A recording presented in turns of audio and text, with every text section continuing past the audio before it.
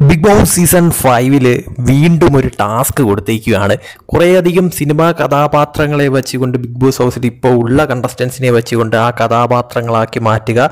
പക്ഷേ ആ കഥാപാത്രങ്ങളായിട്ട് മാത്രമല്ല ബിഗ് ബോസ് ഹൗസിലെ ഓരോ കാര്യങ്ങൾ അനുസരിച്ച് അത് ചെയ്യുക എന്നതാണ് ടാസ്ക് എന്ന് പറയുന്നത്. അപ്പോൾ അതിൽ സംഭവിച്ചിരിക്കുന്ന ഒരു ട്വിസ്റ്റായിട്ടുള്ള ഒരു കാര്യം എന്ന് പറയുന്നത് അതായത് സംഭവിച്ചിട്ടുള്ള ഒരു മെയിൻ ഐറ്റം എന്ന് പറയുന്നത് നമ്മുടെ അഖിലും അതുപോലെ തന്നെ ശോഭയും ആവാൻ പോകുന്നു. അതായത് അച്ഛൻ അമ്മ ഭാര്യ ഭർത്താവ് റോൾ ശോഭയും അതുപോലെ തന്നെ അഖിൽ മാരാരും കൂടെ ചെയ്യുവാണ്.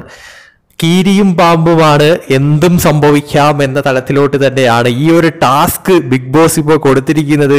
അഖിലും അതുപോലെ തന്നെ ശോഭയും അങ്ങനെ ഒന്നിച്ചുകൊണ്ട് ഇതാ വരുന്നു. അതായത് എന്തും സംഭവിക്കാം അതിന്റെ അകത്ത്. ശോഭയുടെ സ്വഭാവമാണ് എന്തായിരിക്കും ഈ ടാസ്കിൽ നടക്കാൻ പോകുന്നതെന്ന് കണ്ട് തന്നെ അറിയേണ്ട കാര്യമാണ്. കാരണം ഒരു പെയറായിട്ട് വരുന്നു ഒരു ജോഡിയായിട്ട് വരുന്നു അല്ലെങ്കിൽ അച്ഛനമ്മ ഭാര്യ ഭർത്താവ് അങ്ങനെ ആ ഒരു റോളിൽ വരുമ്പോഴത്തേക്കും എന്തായിരിക്കും ശോഭയെ അഖിലും കൂടെ അവിടെ കാട്ടിക്കൂട്ടാൻ പോകുന്നതെന്ന് കണ്ട് തന്നെ അറിയേണ്ട കാര്യമാണ്. എന്തായാലും എന്തെങ്കിലുമൊക്കെ നടക്കും. അഖിലിന്റെ ഭാഗത്ത് നിന്ന് എന്തെങ്കിലും സംഭവിച്ചാലും ശോഭയുടെ ഭാഗത്ത് നിന്ന് എന്തെങ്കിലും സംഭവിച്ചാലും അവിടെ വലിയ അടി നടക്കാനായിട്ടുള്ള സാധ്യതയുണ്ട് എന്തായാലും ടാസ്ക് ഏത് തരത്തിൽ ഇവർ പൂർത്തീകരിക്കുമെന്നും അഖിൽ അതുപോലെ തന്നെ ശോഭ ഒരു കോംബോ കുറെ നാളുകൾക്ക് ശേഷം വീണ്ടും വന്നിരിക്കുകയാണ്. അത് ഏത് അർത്ഥത്തിൽ ഇനി മുന്നോട്ട് പോകുമെന്നുള്ളതും ഇപ്പോഴത്തെ സാഹചര്യത്തിൽ കീരിയും പാമ്പുമായി ഇരിക്കുന്ന ഇവർ രണ്ടുപേരും കൂടെ ഇണങ്ങി എങ്ങനെ ഈ ടാസ്ക് അവസാനിപ്പിക്കുമെന്നൊക്കെ കണ്ടറിയേണ്ട കാര്യമാണ്.